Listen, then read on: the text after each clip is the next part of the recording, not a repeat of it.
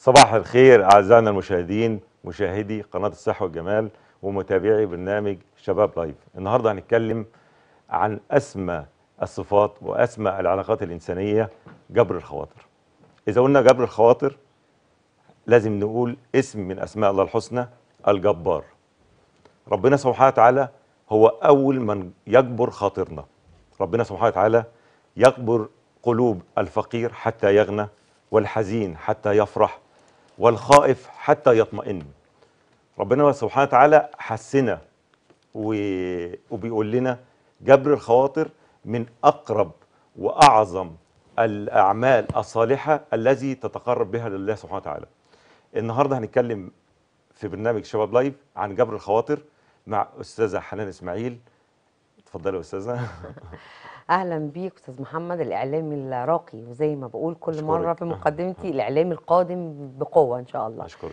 آه، أعزائي متابعينا متابعي شباب لايف ومتابعي فقرتنا النهارده معاكم حنان إسماعيل وأستاذ محمد قيدر. آه، بنتكلم النهارده بعنوان آه، جبر الخواطر. جبر الخواطر آه، خاصة آه، إحنا عايزين بس نفسر معناه قوي عشان إحنا بقينا في ظاهرة آه، مخيفة للغاية. ظاهرة يعني بدأت تقلقنا كلنا. كلنا بقينا بنقول يلا نفسنا يلا همي ثم همي ثم أنا ثم الآخرين. آه، جبر الخواطر آه، سمة من سمات فعلا الأخلاق الحميدة سمة من سمات أي ديانة في الكون. لازم نجبر بخاطر بعض لازم آه، لو حتى لو حد فقير ماشي في الشارع لو جبرت خاطرك يعني خاطره بإنك تساعده بأي مساعدة ده في حد ذاته يعني قوة من قوة الإيمان أصلا يعني. طبعا. فالنهارده جبر الخواطر بيحسنا على تماسكنا ببعض على آه، إلمامنا ببعض على إحساسنا ببعض.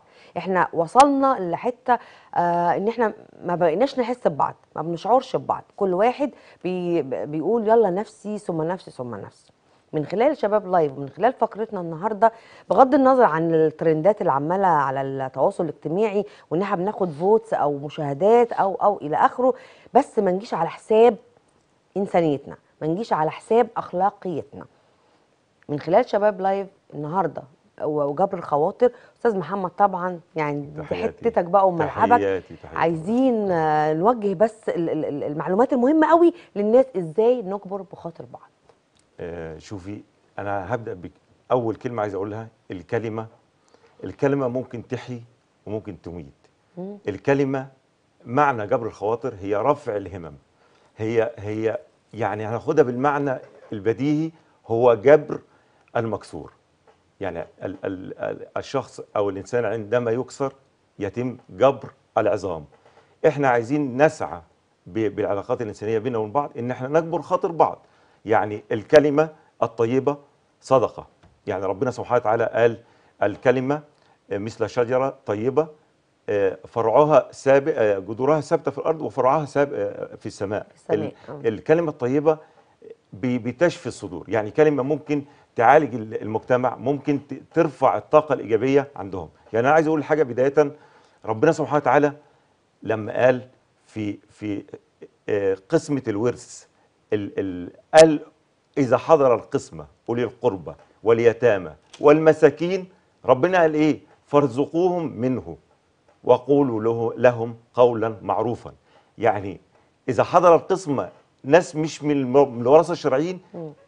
طبطبوا عليهم واجبروا خاطرهم واديهم نفس ال ال يعني ما حلي- من حضر شوفي عظمة ربنا. شوفي عظمة ربنا. تمام يعني إحنا بنقول إيه؟ آه، جبر الخواطر أشكاله كتير جدا. إحنا ممكن نبدأ الابن يجبر خاطر والديه. والدي برضو ال- الآباء يجبروا خاطر أبنائهم. الزوج يجبر خاطر زوجته. المجتمع كله لو مشي بثقافة جبر الخواطر كلنا هنبقى في قمة السعادة ومش هيبقى في بينا مشاكل يعني. آه، آخد بس جميلة من يعني. حضرتك آه. كده جبر الخواطر. لو الزوج جبر بخاطر زوجته. ما يعيش سعيد. غير كمان. كده أنا بس ببدأ من هنا عشان أي حاجة بتبدأ من البيت. طبعا. يعني لو السعاده إحنا بنحس الناس على السعاده وعدم المشاكل وإن إحنا نغضب من أي حاجة ويبقى فيه فعلا انهيار في البيت فهو من البيت. طبعا. لو إحنا سعداء جدا هيبقى المصدر من البيت. فمن البيت لو الزوج فعلا جبر بخاطر زوجته لو جبر بخاطر أولاده بكلمة طبعا يعني ممكن تكون هي في قمة غضبها ولكن بكلمة واحدة منه ممكن هتهدى والدنيا مش هتوصل طبعا. لمشكلة مع الولاد برضو طبعا. هي لو جبرت بخاطر الولاد لو أي حد من أولادها مثلا عنده مشكلة وجبرت بخاطره وضحكت في وشه المشكلة بتزول بالفعل يعني فجبر الخواطر بيبدأ برضو طبعا. غير بقى من أصحابنا وغير هي ثقافة عظيمة جدا طبعا طبعا. يعني أنا بقول الكلمة بترفع الهمم بترفع الطاقة الإيجابية. كلنا بنحب الكلام الجميل. مم. كل واحد عايز يعني بيحب مثلا أنت كويس أنت بتشتغل كويس جدا أنت إنسان جميل. تشجيع طبعا والدعم. جدا. أيوه أيوه. آه اللي أنا عايز أقوله إن إحنا عايزين ننشر ثقافة جبر الخواطر. آه في الشغل مع تع- تعاملي مع العملاء ومع المواطنين. آه وأنا في طريق لو لقيت مثلا آه رجل مسن عايز يعدي طريق أو مثلا عنده مشاكل صحية ممكن أساعده. يعني لا تستصغر آه الخير أيوه طبعا يعني طبعا. جبر ده الخواطر الضحكة إحنا بنقول الضحكة بس لو ضحكت في وش حد يعني متضايق ال- ال- الضيق ده هيروح فتخيل بقى الضحكة بصدقة. بابتسا- ابتسامة يعني بسيطة حاجة جدا. بسيطة جدا أنا مم. بقول إيه جبر الخواطر تنقذك من المخاطر أنا أيوة. عايز أقول حاجة صغيرة جدا حدثت مع صديق ليا آه، كان عنده خادمة في البيت ووالدته إنسانة بتسعى بجبر ف- فمرضت فقالت لازم أعالجها على حسابي. ابنها اعترض قالت لازم أعالجها على حسابي. فعلا لما راحت المستشفى معاها اكتشف الدكتور إن الخادمة صحتها كويسة جدا واللي مريضة والدته. كان عندها بداية كانسر يعني وعالجوها بسهولة جدا. اللي أنا عايز أقوله إن أنت حطيت في قلبك النيه الطيبه إن أنت تطبطب على حتى الخادمة حتى العامل اللي عندك. ربنا سبحانه وتعالى إداها إشارة. إن أنت عندك بداية مرض بسيط. شفت جبر الخاطر وصلها ليه طبعا. أنقذ حياتها. يا جماعة ثقافة جبر الخواطر إحنا مش عايزين نقول إيه, إيه نخليها ثقافة عندنا في البيت في الشغل في كل خطوة بنخطيها نسعى بالكلمة الطيبة وبجبر الخواطر عايزه أقول كمان يا أستاذ محمد إن الخير كله بيبدأ من آه القرآن الكريم. طبعا. الخير يعني جبر الخواطر الصفة بس الجبار ديت جاية من أسماء الله الحسنى. طبعا.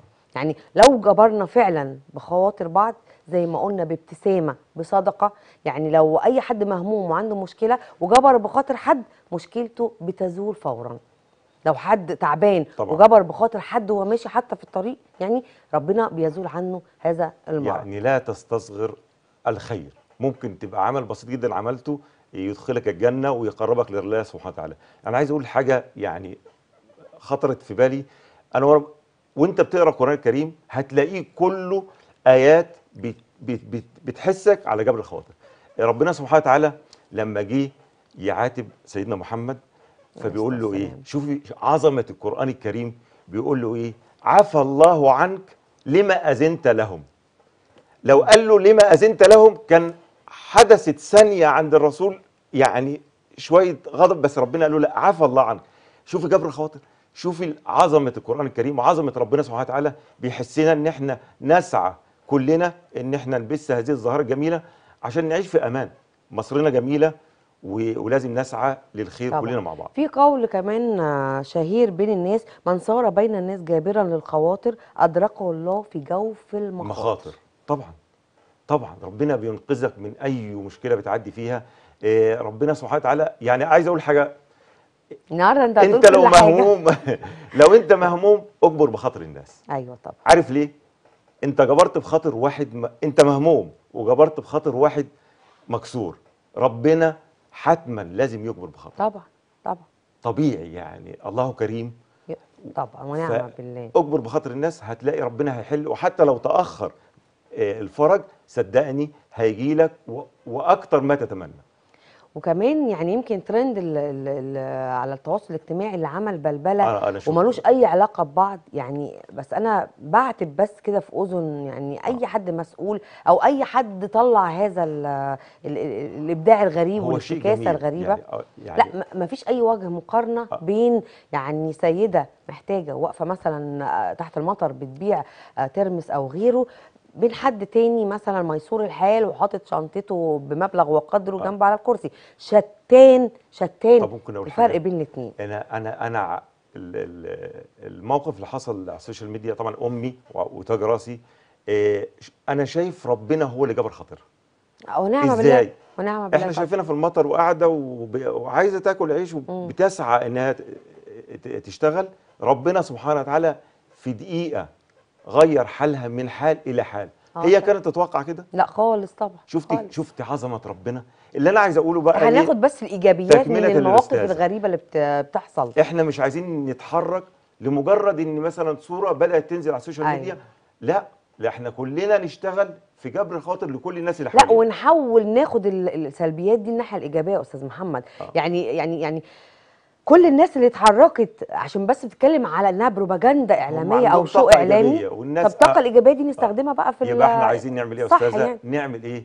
كلنا نشتغل آه، آه، بجبر خواطر الناس. على فكرة ممكن جبر خاطر طير صغير. ممكن يبقى عندك أي لو سقيت زرع ربنا سبحانه وتعالى يبقى أنت عملت خير. هو حضرتك قلت فعلا ما نستصغرش أقل شيء. آه، جبر ممكن خاطر. تدخل بيه الجنه وتقرب لرب ربنا سبحانه وتعالى.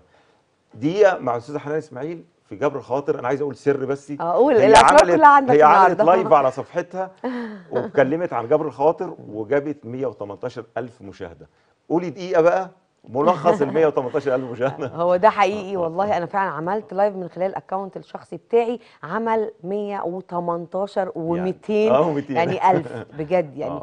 فمعنى كده إن إحنا كلنا فعلا عايزين نمسك بإيد بعض طبعا. عايزين نآزر بعض آه عايزين نبث بس في بعض إيه الأخلاق الحميدة الأخلاق الراقية. ما نتناساهاش. طبعا. ما نتلاشاهاش. يعني إحنا كلنا عندنا الخير كلنا جوانا الخير. ولكن إحنا بنشرد مننا شوية لظروف الاجتماعية لظروف مادية. ولكن كون جابر لخاطر الناس. ربنا هيكرمك من كل حاجة طبعا. وينقذك من أي هموم من أي مصائب. تحياتي ليكي. أنا هنهي بكلمة. كلنا لازم ن- نعتبر جفا ليا ولأبنائي وللمجتمع كلهم. طبعا. آه بشكركم جدا اعزائنا المشاهدين وانتظروا مننا قضايا مهمة جدا جدا إن شاء الله من خلال قناة الصحه والجمال وبرنامج شباب live. تحياتي وتقديري لحضراتكم. أحلى بداية للكلام هي السلام. السلام عليكم ورحمة الله وبركاته على كل المستمعين شباب live على قناة الصحة والجمال النهاردة معانا فقرة جميلة جدا وهي لا للتعصب لغة العالم كلها هي لغة كرة القدم واللي بتجمع كل الشعوب بتجمع كل الأحباب مع بعض. النهاردة هنتكلم لا للتعصب لا للتعصب يا خالد. طبعا يا مصطفى موضوع النهارده بصبح عليك صباح الفل. طبعا يا. مصطفى صباح الفل على كل مشاهدينا على كل مشاهدي قناة الصحة والجمال مشاهدين برنامج شباب لايف. فقرة جديدة وموضوعنا النهارده قوي جدا زي ما قال مصطفى. طبعا لا للتعصب قبل بس ما ابتدي ونخش في في الحوار أنا حابب إن أنا أوجه رسالة للناس اللي بتتفرج علينا. كل لعيبه الكورة كلهم أصحاب وإخوات وجوه الملعب بيبقى فيه تنشنة وفيه نرفزة لكن بره الملعب كلهم صحاب وكلهم جداً، بيتقابلوا. جداً. فطبعا أنا أنا كمشجع ال ال يعني مفيش حاجة بت بتجيلي بتنفعني لما أخسر الناس اللي معايا أخسر أخسر صحابي أخسر الناس اللي حواليا. يمكن يا مصطفى النهارده إن شاء الله هنتكلم على التعصب. وطبعا دور دور الجمهور في في في التوعية يعني دور الإعلام والجمهور الفترة اللي فاتت ديت يا خالد إحنا شفنا في اندفاعات كتيرة جدا بين الجمهور بين النادي الأهلي وبين نادي الزمالك. لكن عايز عايز أقول لك يا خالد إن أنت بتتكلم على أكبر قطبين كرة قدم في الشرق الأوسط بيتكلموا إن هو derby derby الع- يعني يعتبر زي ديربي ريال مدريد وبرشلونة ده ديربي بينتظروا كلاسيكو العرب. كلاسيكو العرب كتير جدا. الشرق الأوسط كلاسيكو كله. العرب. عندك جمهورين من أكبر جمهورين موجودين في ال- يعتبر في العالم. أنا بشوف إن جمهور النادي الأهلي عظيم. طبعا. جمهور النادي الزمالك برضه برضه عظيم. جمهور عظيم لكن عايز آه مصطفى. طبعا. لكن عايز أقول لك بلاش تتعصب.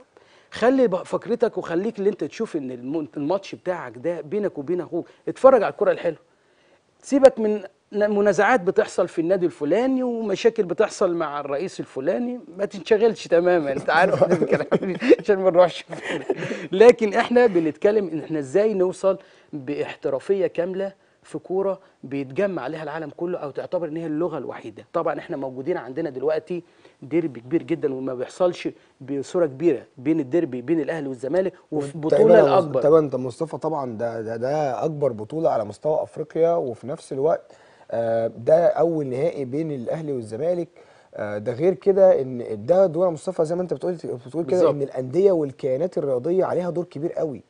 دور كبير قوي في توعية الناس والتصريحات الاستفزازية اللي بتطلع عشان تستفز الجمهور مش تستفز النادي النادي التاني سواء نادي طلع تصريح آه غلط أو بيشتم واللعيبة اللعيبة بتكون طبعاً، طبعاً إخوات كتير جدا طبعاً. يعني أنت لو بصيت دلوقتي على اللعيبة موجودة في المنتخب إيه، بتلاقيهم مع بعض بيتدربوا مع بعض إخوات موجودين لكن في الملعب ده مع فريق وده مع فريق لازم إن هو يلعب كويس وينافس على ما هو فريقه ده اللي أنا كنت بتكلم فيها مصطفى إن اللعيبة كلها إخوات وكلهم أصحاب وفي الماتش طبيعي جدا أنت بتروح تلعب ماتش مع أصحابك. بيحصل تنشنة في الماتش بس بعد الماتش إيه اللي أنت بيحصل عارف يا خالد إن طبعا في حالتين فيروس كورونا للعيب محمد محمود كهربا وكمان سليمان. وليد سليمان كان وربنا- ربنا يشفيهم إن شاء الله. عايز أقول لك إن لعيبة الزمالك كانت بتسأل عنهم واتصلت بيهم وكان في في علاقة كبيرة جدا بينهم وبين بعض طبعا إحنا بس نقول لنفسنا كمشجعين مش هنقول إن إحنا كاعلاميين بنقدم رسالة لا إحنا كمشجعين لا